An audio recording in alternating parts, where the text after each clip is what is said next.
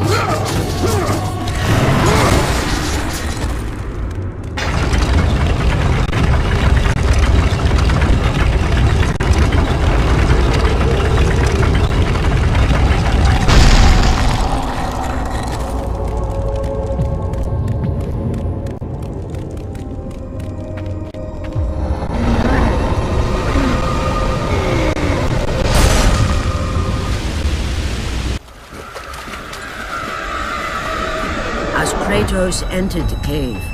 Eos, goddess of dawn and sister to Helios, sat above him, visibly weakened by the absence of the sun. All glory be to Lord Zeus for granting you safe passage to me. The king of the gods does not aid me, Eos. I am but a slave to Zeus and Olympus. Save my brother Kratos, and he will convince Zeus to release you and rid you of the horrors of your past. I give you my word. The gods have broken their word to me many times. Forgive me if I find it hard to believe your promises. Be that as it may, Kratos. The primordial fire is almost out. Without Helios, the life-giving light of the world cannot be sustained. If you do not find him, only darkness and death awaits all of us. Where has Atlas taken him? I do not know, Kratos. Follow the passage out of the cave. Retrieve the fire and it will light your path to the remaining steeds. They will guide you to their master. They will take you to my brother. May you go with the speed of Hermes, Ghost of Sparta.